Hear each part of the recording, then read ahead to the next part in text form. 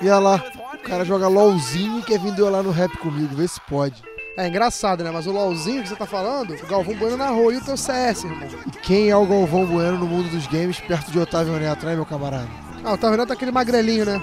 Isso aí não é nada, rapaz. Vamos ver então, vamos lá.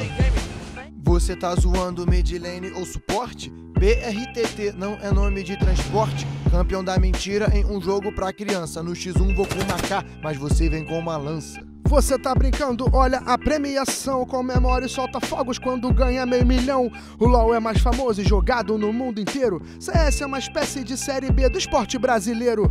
Temos o melhor do mundo, com dizer é o terror. Você sai do Brasil é uma vergonha, que horror.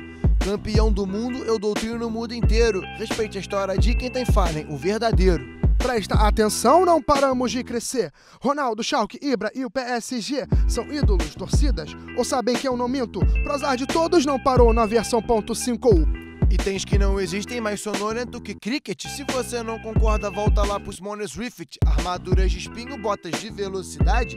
Pique bandeira, high-tech, esporte de verdade. Como é não ser o esporte mais querido? Me diz, consegue? Ou tão chorando a saída da FNX? Plantando a bomba, eu faço o meu te mato. Alguém sabe a diferença entre toco e taco? Respeito aos mais antigos, essa é só a sua estreia. Verdade ou piada, seus ídolos vêm da Coreia? Olhos fechados, mas não conseguem enxergar que tentaram chegar no Nexus e o vice é o seu lugar. A boa fase era sorte, confiar no verdadeiro. O Fallen é legal, pena que é pipoqueiro. Enquanto você mirava, te atingia com meus versos. E apenas quatro estrofes, arregacei seu Nexus.